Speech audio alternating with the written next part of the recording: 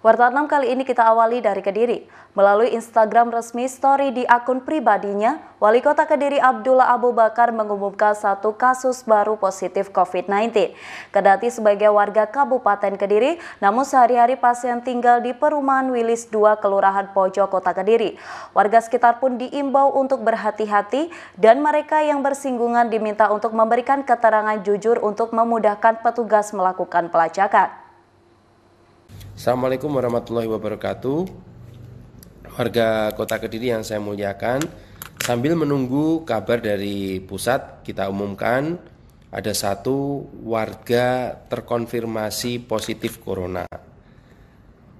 Tempatnya di Kelurahan Pojok Tepatnya ada di Wilis 2 Saya harap warga di Wilis 2 Lebih berhati-hati Warga yang bersinggungan tolong untuk memberikan informasi yang jujur untuk pelacakan atau tracing kepada petugas kami yang ada di lapangan. Jangan ditutup-tutupin karena ini butuhnya jujur untuk mengisol untuk uh, mengurangi persebaran virus tersebut. Berikutnya kita akan mengadakan uh, atau memperlakukan isolasi secara mandiri dalam pengawasan. Jadi saya mohon warga untuk mematuhi peraturan-peraturan itu. Saya mohon bersabar warga, tolong bantu pemerintah Kota Kediri untuk mengatasi ini bersama-sama. Kurang lebihnya saya mohon maaf. Assalamualaikum warahmatullahi wabarakatuh.